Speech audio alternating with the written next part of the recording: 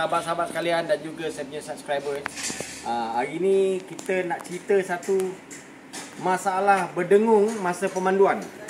Tapi berdengung tu bukan datang daripada gearbox, bukan datang daripada enjin. Bila kita duduk dengar, dengar, dengar betul-betul bunyi macam sebelah kiri. Maksudnya bearing tayar. Jadi untuk kepastian apa yang perlu kita buat, kita check. Kita jack terlebih dahulu jack. Bearing tayar eh. Bearing tayar berdengung ataupun orang panggil wheel bearing. Kita jack dulu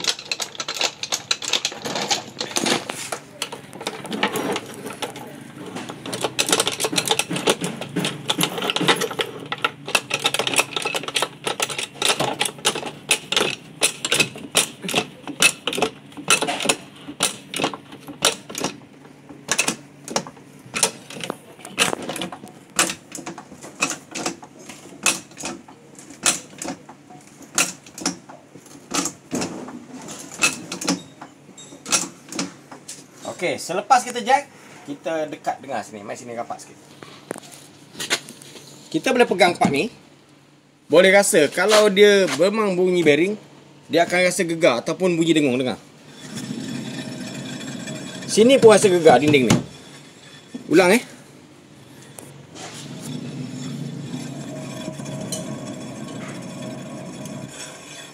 Ulang sekali lagi.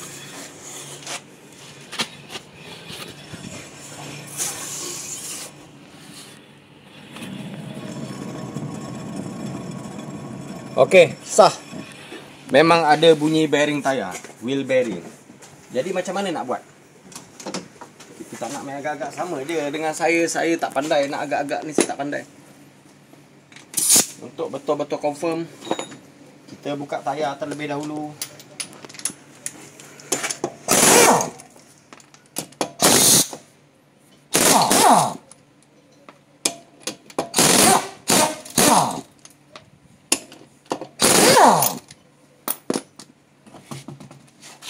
Selepas buka tayar.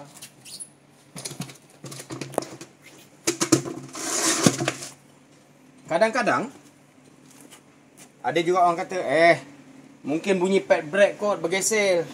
Try lagi sekali. Baik bunyi juga eh. Kita buka lah pad brake. Buka juga pad brake. Betul ke bunyi pad brake bukan bunyi bearing. Untuk keselamatan letaklah satu stand. Sebab nanti benda buruk kita tak boleh jangka ya. Nasib tak baik nanti. Jack ni loose ke, terjatuh tinggi ke, dah bahaya, dah kena impak pula dah. Untuk keselamatan letak satu stand. Alihkan jack. Apa kita nak buat? Kita keluarkan dulu dia punya caliper ni keluarkan pad brake ni. Sebab nak betul-betul kepastian. Betul ke confirm ke bearing tanpa bunyi pad brake yang bergesel. Untuk kepastian kita keluarkan pad brake ni.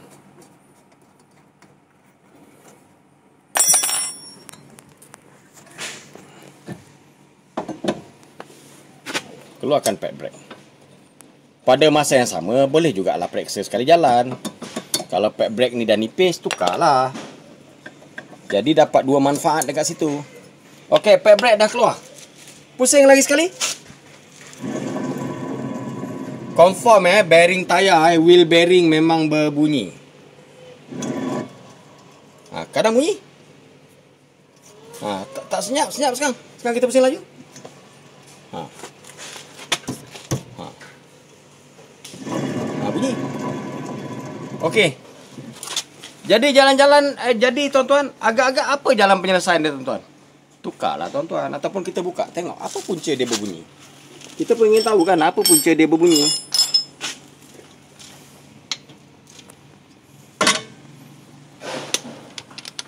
Sekejap ya, kita pusing steering dulu. Eh.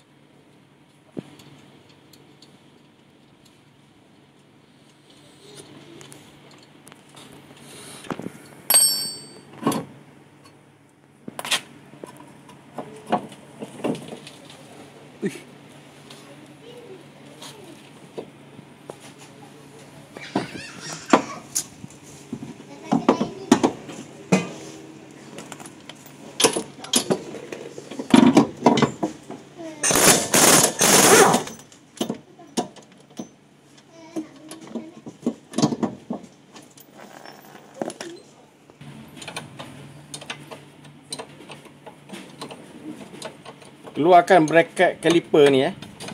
Keluarkan bracket caliper ni. Eh, ambil Philip satu.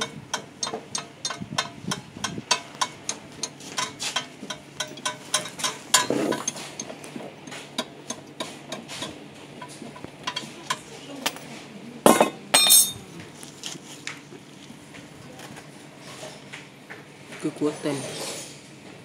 Okey, seletak. Ha, kuat. Bunyi dia sangat kuat. Senyap. Kadang tak bunyi. Pelik tak? Tak bunyi. Pelik juga tu. Tak bunyi.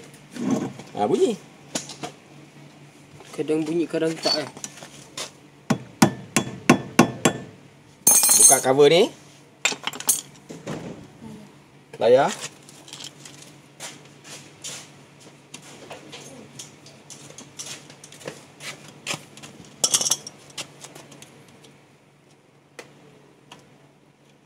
Jadi tuan-tuan, kalau tuan-tuan nak tahu, tuan-tuan rasa apa yang pegang, yang betul-betul pegang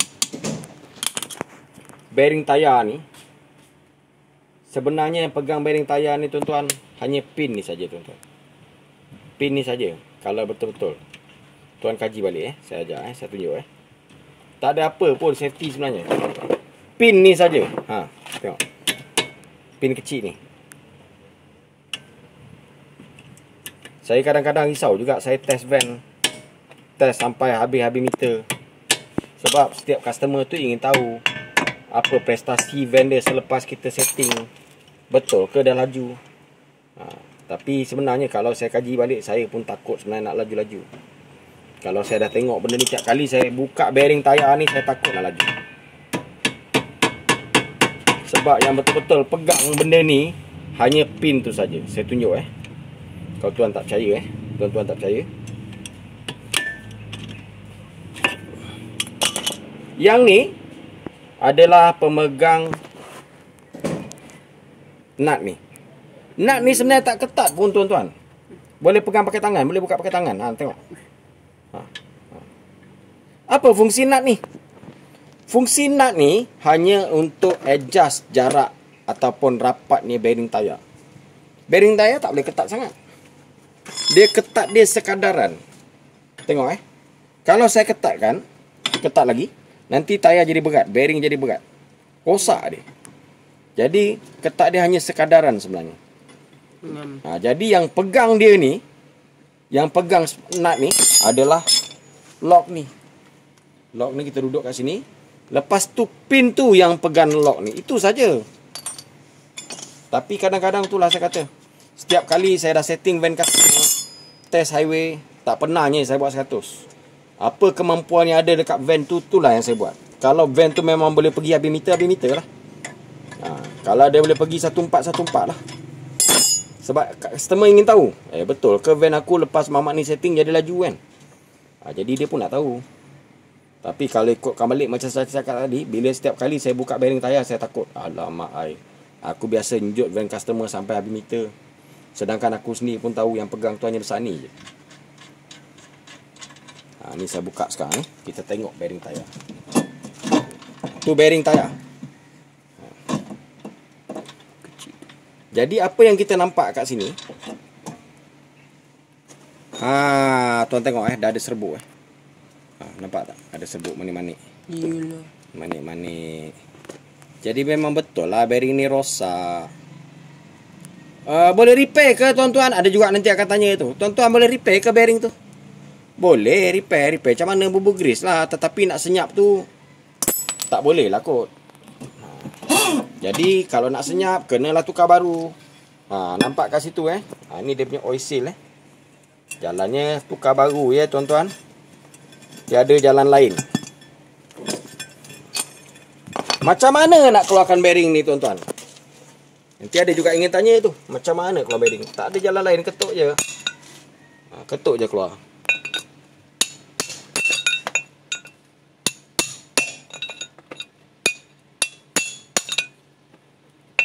Dah keluar dah. Ha, keluarlah dia. Tapi oil seal ni belum keluar. Oil seal ni pun kena keluarkan.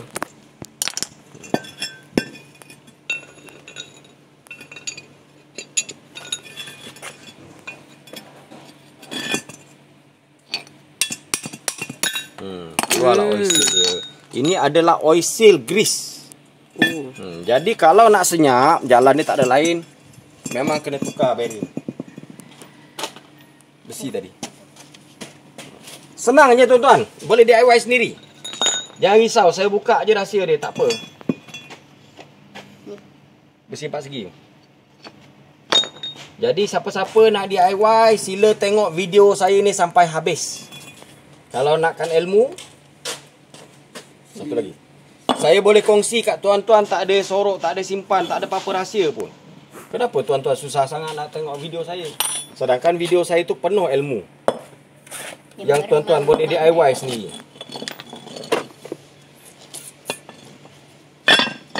Saya ajarkan, jangan risau. Tak ada apa benda yang saya nak simpan.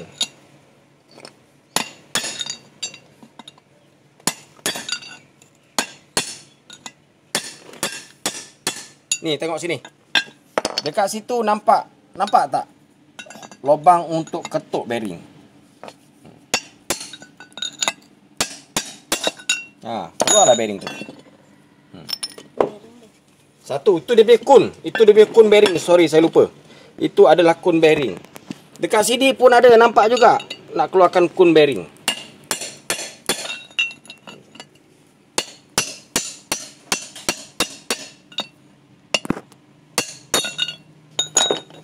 Okey, kun bearing dah keluar. Berikutnya adalah lap je tuan-tuan, lap. Ambil minyak hitam sikit. Eh, Aslam. Saya. Hmm. Lap saja. Ha, lap bersih-bersih, keluarkan grease lama ni. Sebab nanti kita akan gantikan dengan grease baru.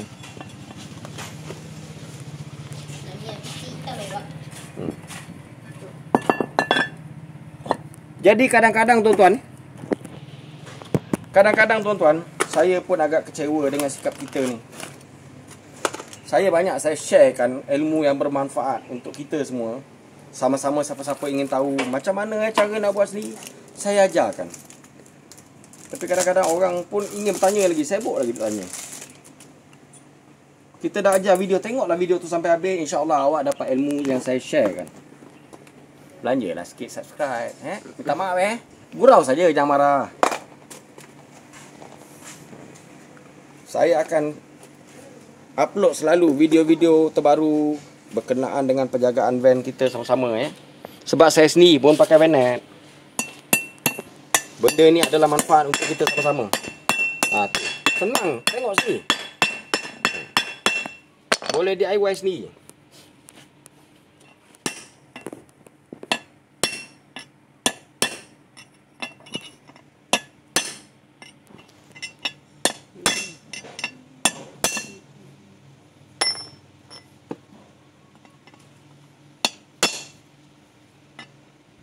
Kalau susah lagi Pakai kun lama balik. Mana kun lama tadi? Ha, Kun lama ni pun boleh hentam dia. Masuk je kun lama tu. Ha, Ketuk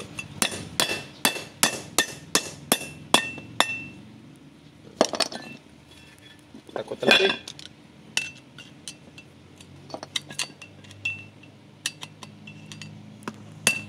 Tak ada susah pun.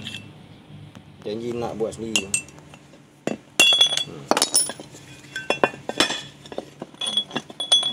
Lama ni ketuk kan pakai kun lama.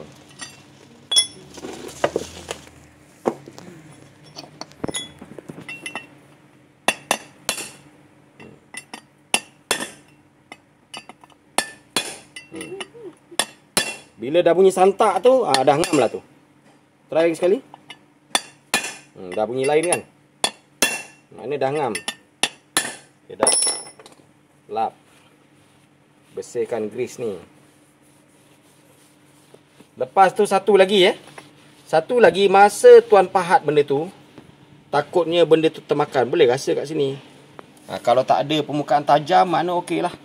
Cantik lah tu betul lah cara ketuknya. Jangan sampai ter miss pahat tu. Nanti dia calar, dia rosakkan bearing. Okey, masuk kon yang lagi satu. Bearing dia dua eh. Besar satu, kecil satu. Bearing dia ada dua.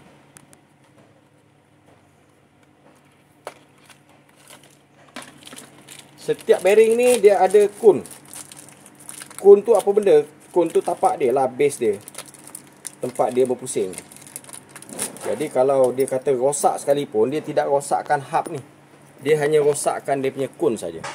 Ha, tempat dia berpusing ni. Okey, kita pasanglah kun ni sebelah sini.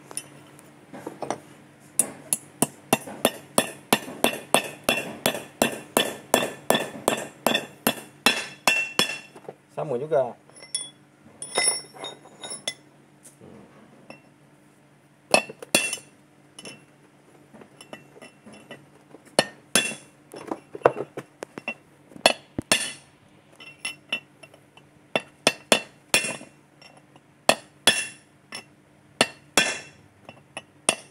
Okey, ngam. Rasa? Tak ada bibir-bibir, tak ada masalah. Semua cun. Lap elok-elok.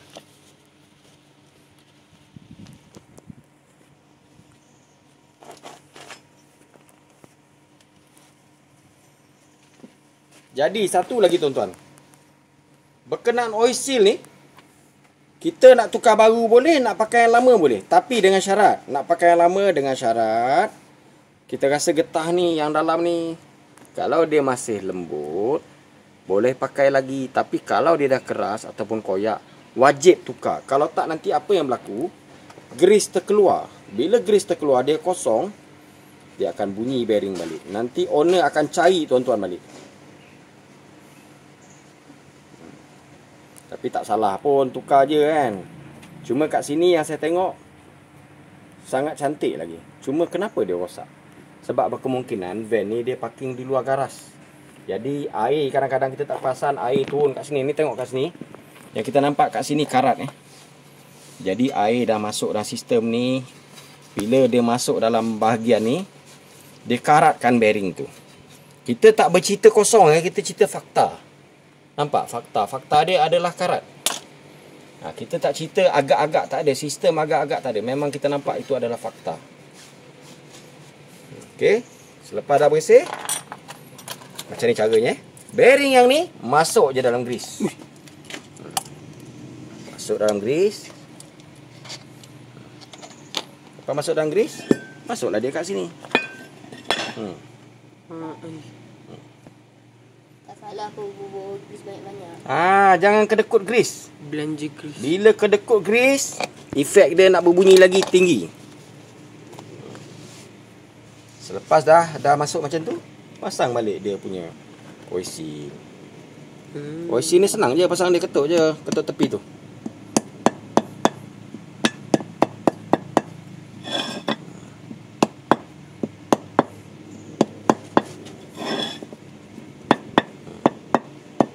Okey, ngam.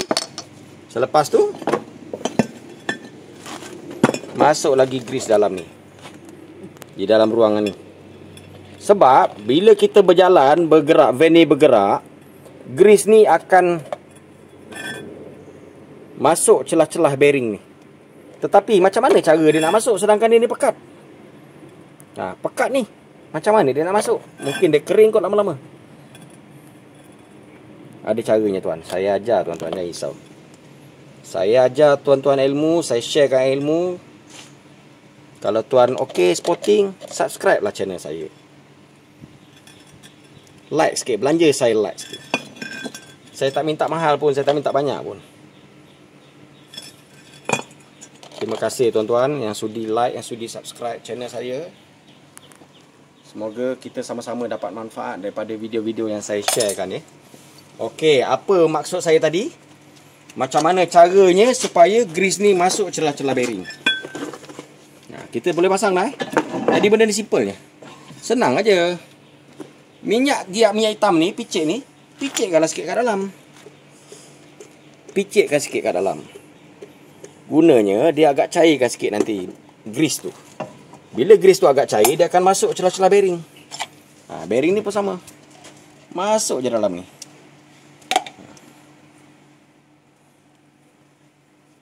Barulah bearing ni tahan lama tuan-tuan. Saya bercerita ni pengalaman saya tuan-tuan. Pengalaman saya. Saya dah cuba dah semua benda ni. Ha. Nampak.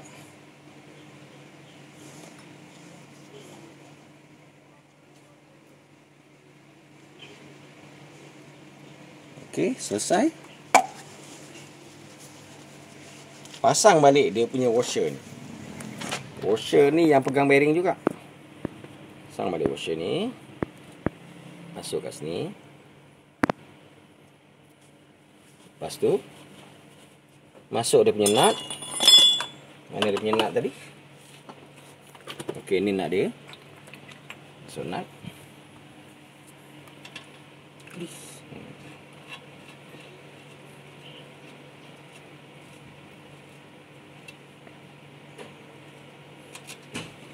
Ikat dia secukup rasa eh. Ha, jangan ketat sangat, jangan longgar sangat. Macam mana nak tahu dah ketat atau longgar? Pusinglah.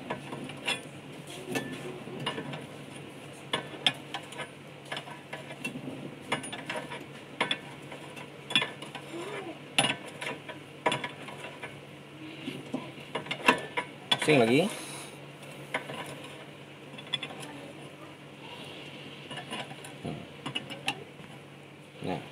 Kalau dah berat pusing makna ketat sangat. Jangan terlampau berat. Dia ringan je. Ha. Okey, dah agak macam Cuba goyang.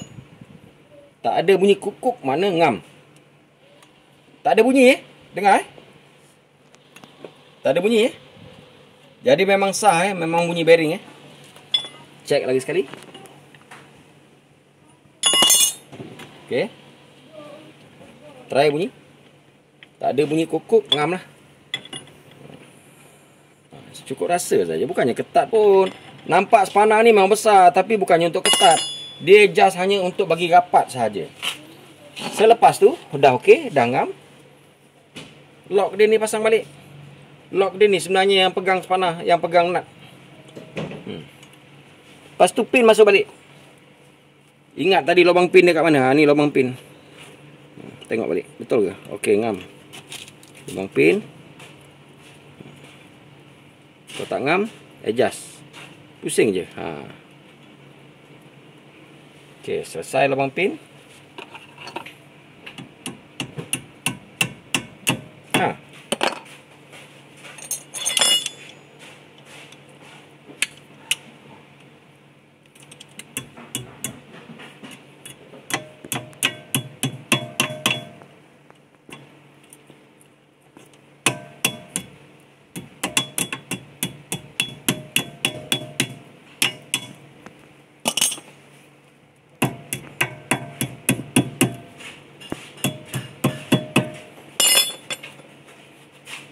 Lap. Gam. Hmm. Tak ada bunyi eh? Confirm eh? Piece yang dah terkena dengan grease ni kita bersihkan. Yang ni pun sama kita bersihkan. Ha, bersihkan. Bersihkan dengan apa? Hmm, Saya dengan petrol lah. Naklah bersih benda ni. Janganlah kedekut. Okey, selepas tu cap dia ni cap dia ni sebenarnya dia ada getah ya. Ah jadi punca masuk air itu daripada sini. Jadi macam mana kita tak nak bagi air masuk dah? Ha, kita cuba eh macam mana supaya air tak masuk dah. Bobo lagam kat sini. Belanja lagam sikit.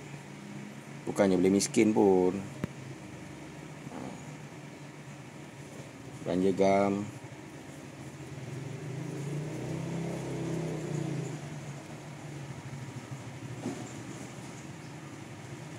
Okey, ketuk dia masuk.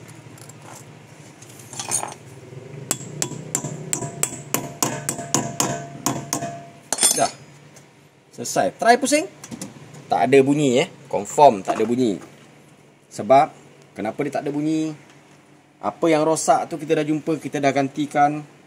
Kita pun confident memang dia yang rosak. Ha, barulah jelas. Okey, pastikan benda ni tak ada minyak eh. Nanti sekarang customer break, eh apa hal ni break aku tak makan?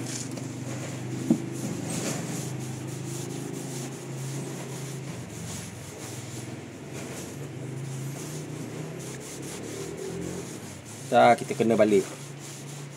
Buat tukar bearing orang, break pula jadi tak makan.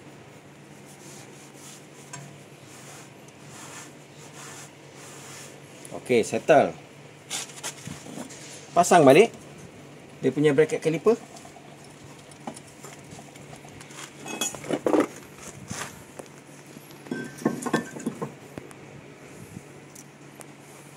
Tak salah juga semua skru ni berminyak sikit supaya tak rosak trip.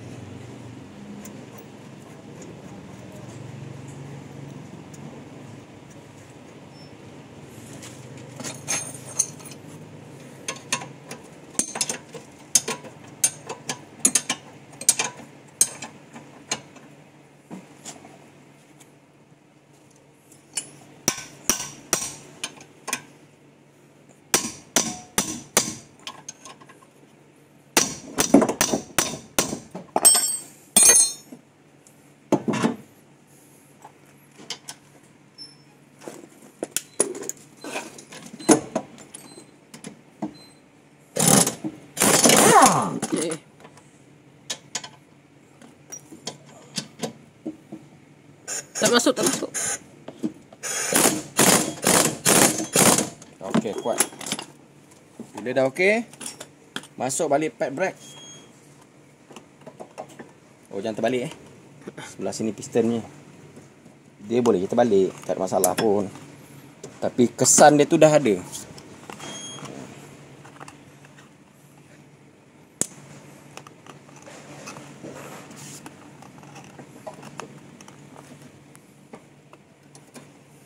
Okey. Settle. Yang ni kena berminyak sikit eh. Supaya supaya bila kita tekan brake piston ni ataupun caliper ni dia boleh release dengan elok. Kalau dia tak release dengan elok, apa yang akan berlaku? Pad brake ni makan sebelah. Tak sama tebal. Ha, punca dia daripada benda ni lah. Ha, jadi pada masa yang sama kita periksa benda ni, benda ni nak kena lancar eh. Kalau tidak lancar nanti apa yang berlaku kat situ? Pad brake makan sebelah. Pad brake tu usia dia masih baru. Sepatutnya masih ada tetapi habis sebelah. Sebelah lagi tak habis lagi.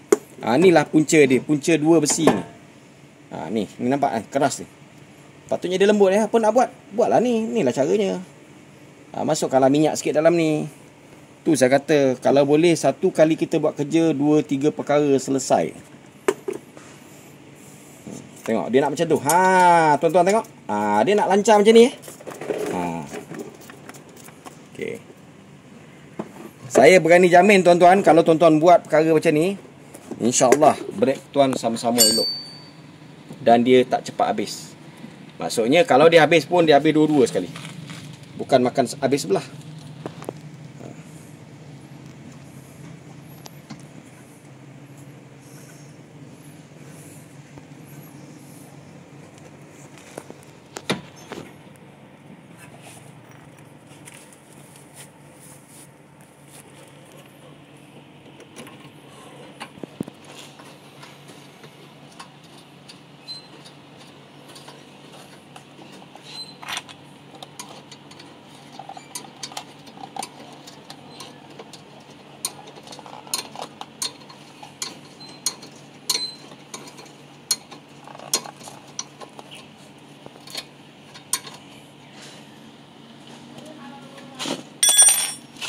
Tu skru 14 yang kita buka tadi pasang balik lah.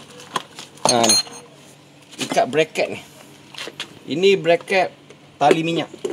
Dia duduk kat sini.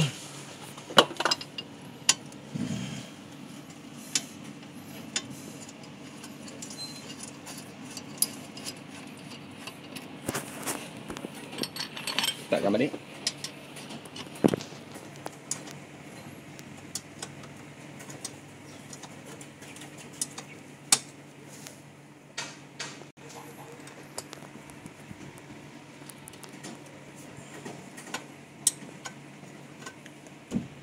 Okey, ngam. Lepas tu kita boleh pasang tayar dah. Skru dia ni pun sama bubur lah grease ataupun minyak sikit. Supaya trip supaya trip ni tidak loose. Lepas tu yang kedua, besok orang lain tukar ataupun buka tayar ni pun senang. Senang, lembut je. Tak ada ni dia tercabut. Mana dia cabut?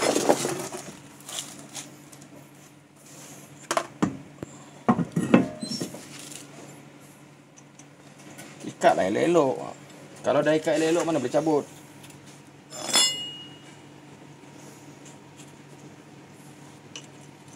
Pusing dulu agak panjang sikit supaya dia dah confirm memang dia masuk elok. Ke tangan eh. Baru guna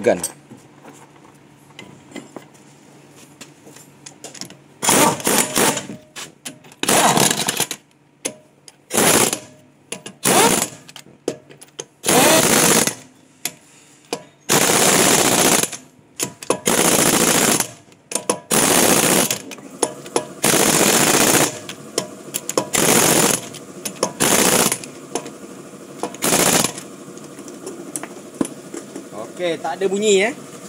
Confirm tak ada bunyi. Jadi, selesai masalah.